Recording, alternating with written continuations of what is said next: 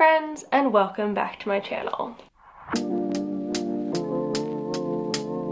Today we are going to be talking about everyone's favorite houseplant pest, thrips. So I did make a thrips video back in 2020, three years ago, about how I was dealing with them then, but quite a lot has changed for me in the past three years of pretty much having thrips on and off for that entire time. And I wanted to talk to you about how I deal with them now that I I'm a little bit better versed in the whole thing and I've been doing it for a few years. I'm not as like squeamish about them now. So I thought I'd hop on here today and share my sort of updated thrips dealio with all of you. Before I do though, I just want to say if you're new here and you don't know me already, hi, my name is Emma and I make houseplanting content all over the internet. So if you want to follow along with my houseplanting journey and maybe learn something along the way, stick around, watch some more of my videos, and subscribe to my channel if you're not new here. Thanks for coming back. I really appreciate it. Let's get into it. Before I tell you what's changed, I do just want to give a little bit of background about thrips in general if someone is just hopping on this video for immediate thrips care so they can know what they look like, signs and symptoms. So if you already know what thrips look like and you're just trying to figure out how to deal with them, skip to this time down below and I'll just share with you my prevention and treatment methods. But now I'm going to be talking about them a little bit more generally just to start with. Thrips are tiny, slender bugs that suck the sap out of your houseplants, leaves usually, but sometimes stems, flowers, buds, etc. They just suck the life out of them slowly. They can come into your home a myriad of ways through open windows, when you're bringing in new plants from the outside, whether they're like from a shop or like plants that have summered outside that you're bringing in. They can come in on your clothes, on your hair, on pets, so many different ways. But once they're inside of your home, they tend to reside on the undersides of your plant's leaves, hiding so they're not the easiest to see. Sometimes they can be found on the tops of leaves as well and the stems, but that is slightly less common. They're mostly on the backs. But they're long and skinny with pointy tails and the adults usually are in a sort of black brown color and they have wings. Yes, they have wings. Yes, they can fly. Makes treatment great.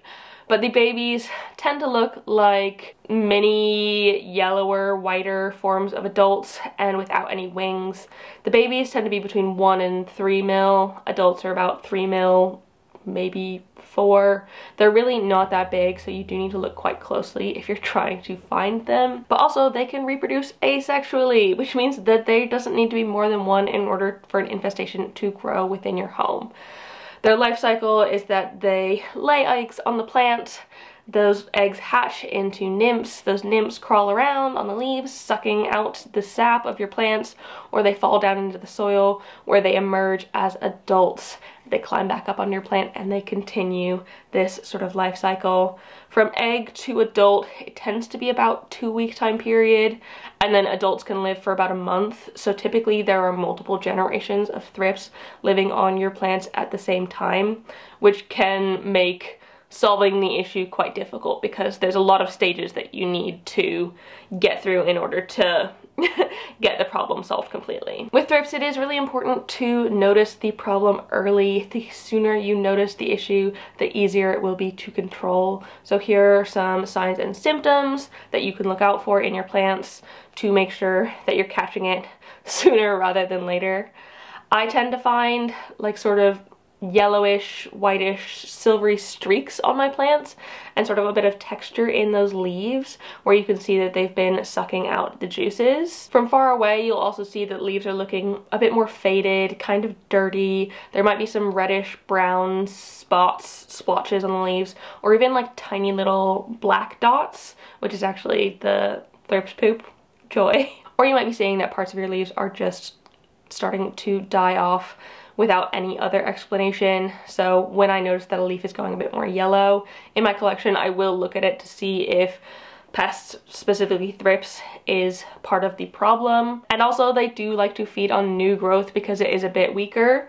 And so if your new growth is coming out stunted, that could also be a symptom of thrips. Honestly, I think the best form of treatment is prevention. And I know that's easier said than done because it does take a little bit of work, but I'm not gonna tell you to like close all your windows in the summer and strip off your clothes immediately when you come in and hop in the shower. No, that is absolutely unreasonable and I don't think that can be expected of anybody. And if that brings in thrips,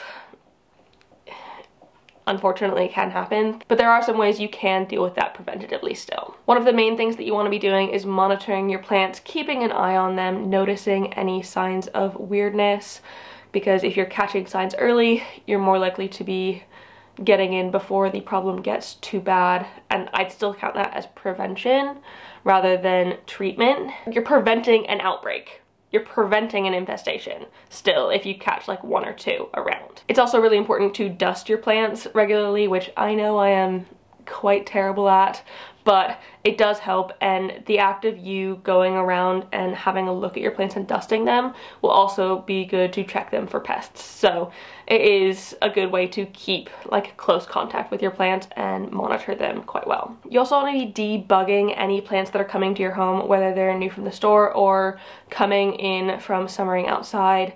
I would highly recommend you at least shower them off and have a look at them and then quarantine them for at least two weeks, keeping a very close eye on them.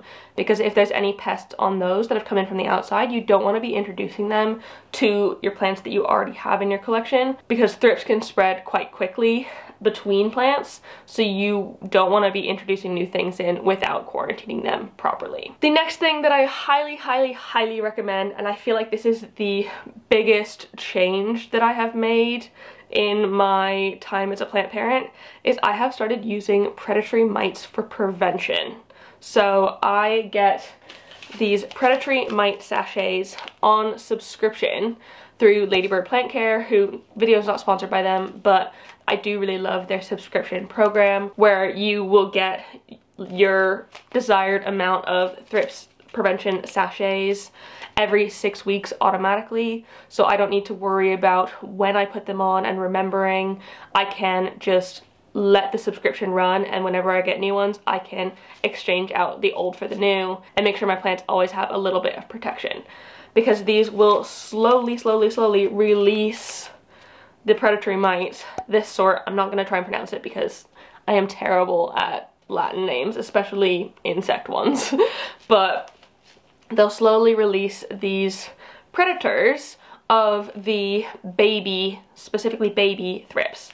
They are not adult killer thrips, they will only deal with the babies, but if you have these dotted throughout your home across your entire collection of plants, then if a baby does come in, if an adult comes in and lays eggs and babies hatch, then these will like get rid of the problem immediately rather than the problem getting out of hand and those babies growing into more adults who lay more eggs and like continue the life cycle over and over. So it kind of stops the life cycle before it can even start. So I use these all year round on my plants and I get them delivered every six weeks. I tend to use about one or two per square meter. I think I get 10 or 15 for my collection of 200 houseplants. I probably should get more if I were trying to like really, really be on top of it. But it, it does tend to be a cost. But I would much rather spend a little bit of money every six weeks to have these than to spend a lot more money replacing plants after I've had an intense like infestation and outbreak which could potentially kill a, like a chunk of my collection. So I'd much rather prevent and spend some money on that. And it's even not that much. I feel like 10 sachets every six weeks. I feel like it was like £9.65. Not very much and a little goes a long way and it's just part of my general houseplant maintenance cost. Like instead of buying a new plant, I'll make sure that I have these. It's also important to note that you might not see them working. They are very, very small. I can just barely see them with my naked eye. I have used my microscope to see some previously. If I can find that footage, I will plop it in here. But you probably won't see them working, just like the thrips like to hide in your plants these like to find the thrips that are hiding in your plants so they'll hang out in areas to hide within your plants. So you might not see them working at all, but that doesn't mean that they're not doing their thing. Also, if you don't have thrips at any point in time, they can live off like the pollen in your plants for a little while and then they'll eventually die off after the four to six weeks and then you'll get new sachets and all will be well.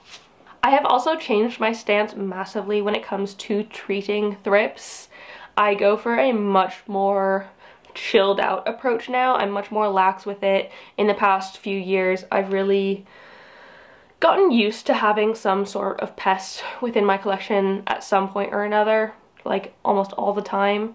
So I've just kind of gotten used to it, which isn't necessarily a good thing, but I know what to expect and I know how to deal with them. It's not like emergency treating anymore because I am doing so much to prevent, but when I do treat, it is also generally more chilled. And I should say that I've moved away from chemical pesticides, which I will get to in a little bit why I've done that.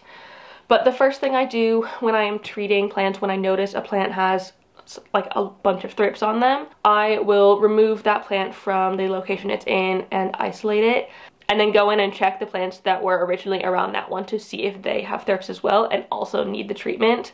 This is very important because thrips don't tend to stay on just the solitary plant. They will spread out if they have the possibility to do so. I make sure to prune any heavily infested parts bits that have like far too many thrips for me to fancy dealing with or leaves that have been like damaged repond beyond repair because it's easier to physically remove the leaf with the thrips than it is to remove the thrips on their own. And if there is any eggs in there, they won't hatch. It's going to be in the bin. It doesn't really matter. So removing any like heavily infected growth is the best possible thing. Also, I just go in and squish them sometimes and that's fine as well. So once I've figured out that I have all of the plants with pests in that immediate vicinity, I will then move on to my treatment, which tends to be washing down the plant. I will run it under water, usually warmish water. You don't want to shock the plant. You also want to make sure you're not overwatering the plant in that time because if you're treating, I would definitely suggest before you have something like predatory mites, repeating this process every few days in order to like make sure that your plants are very, very, very clean. When you are spraying down the plants, I would go over the tops, the bottoms of the leaves, and the stems. Try and avoid the soil if possible, like I said, for watering purposes. You don't want to be messing with your watering schedule too, too much. Not that you should use a schedule, but you don't want to be watering too frequently with, like, pest treatment. That would just be, like, adding another, like, adding insult to injury in this situation. You don't want pests and overwatering issues. I would also highly recommend washing down your plants with something like horticultural soap. I usually go in with this and a sponge. I sometimes dilute it to the 1 to 100 ratio in a spray bottle and use that to spray on my plants. But I will also sometimes just put this directly on a sponge and wash my leaves down with it and like wipe them, the tops, the bottoms, the stems, all around. And this is actually a natural like mild insecticide because the soap will go in and clog sort of like the pores of the insects. So like where they breathe from, it'll clog that up as well as like stick to the moving parts of the insects making it harder for them to move around. So they won't be able to breathe as well and they won't be able to move as well.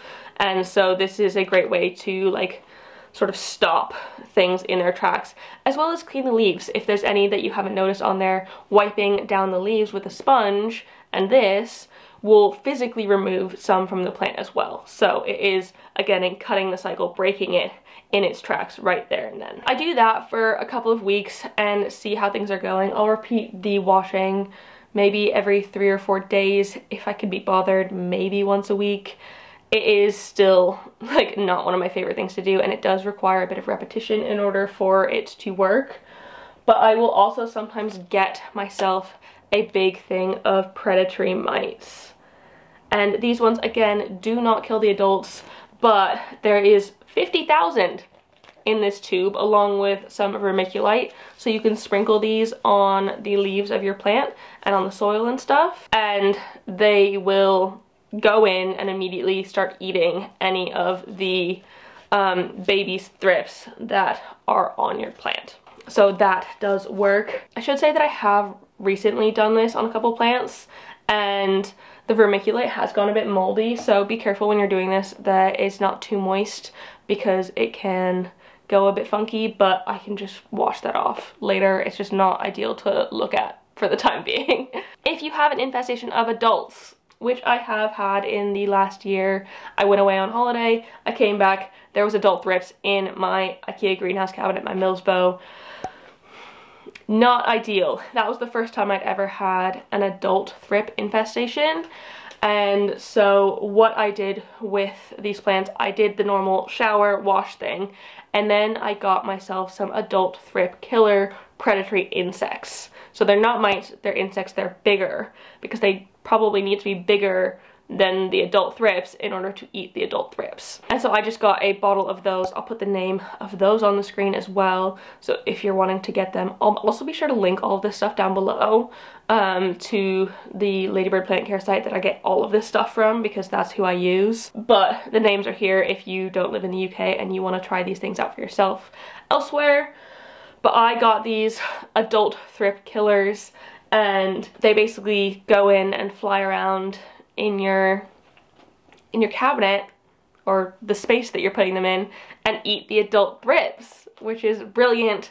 Again, breaking the life cycle off as best as possible. So that is kind of my main treatment system right now. As you can tell, there are lots of steps and it does require repeating over time and pretty regular monitoring, but that's just what you need to do with pests, especially if you're not using something like chemical pesticides which I have moved almost entirely away from. Actually, yeah, in, except in like huge emergency cases where I won't have time to like be repeating this treatment super frequently, I will not be using chemical pesticides. I do not use them anymore. And when I say chemical pesticides, I mostly mean Provanto. That is what I used in the past. That is what I recommended in my last thrift video. And I recommended it because it works. It will kill the thrips. It does. But there are also tons of downsides to these as well. And not only do they kill the thrips, they will kill everything.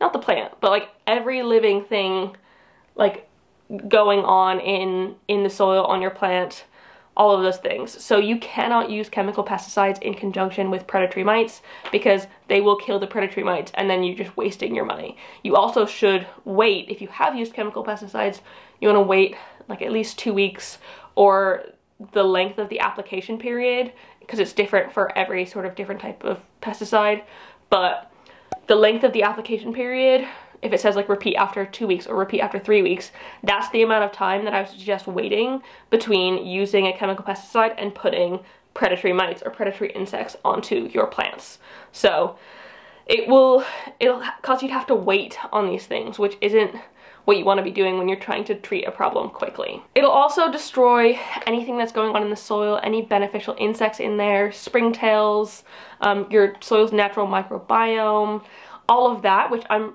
like really trying to build up at the minute, especially with things like Rhizo Plus from Liquid Gold Leaf and like natural good stuff in there. I don't want to be destroying that every time I get a pest. So I don't want to be spraying chemical pesticides. Also, it is proven that they are quite dangerous for mammals to inhale, specifically Provanto.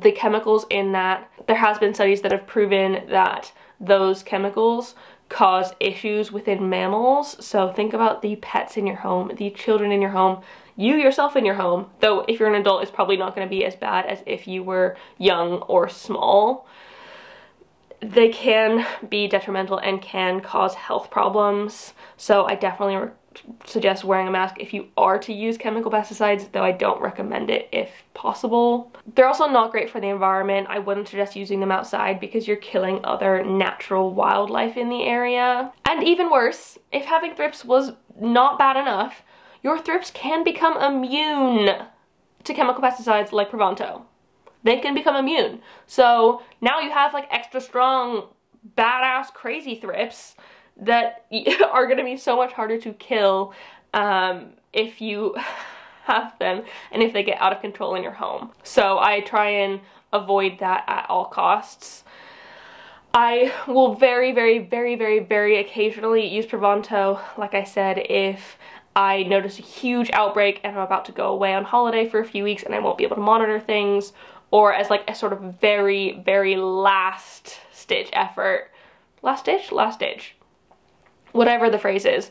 A last effort to get rid of them if I'm really, really, really experiencing a problem. But I honestly haven't had that happen at all in the last few years since I have moved over to this sort of new style or approach at dealing with them. So I still have Provanto from a few years ago, which I don't even know if it's still good, that I have in my cupboard that I am just not using because that's not where I am within my plant care zone anymore. So yeah, that is it. That is how I have been dealing with thrips these past few years, how I have changed my sort of attitude towards it all.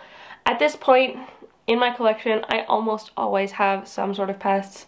I know a lot of my plants do have thrips in my collection and it's something that I'm dealing with and it's something that I'm okay with. Like I I'm getting through it and with with the predatory mites for preventative and getting things like the um, adult thrip killer as well, those sort of things, I can mitigate these things and stop them from getting to be a huge outbreak. I haven't had like an infestation in quite a long time. I've just had the odd one or two on a plant here and there, which I think is an absolute success. And I also don't mind just like going in and squishing any with my fingers because that's quite fun. But yeah, I feel like I have improved my approach to thrips in general and I feel more at peace and less stressed out by infestations than I would have been in previous years. So I am really glad that I have moved towards this sort of method for treatment and prevention.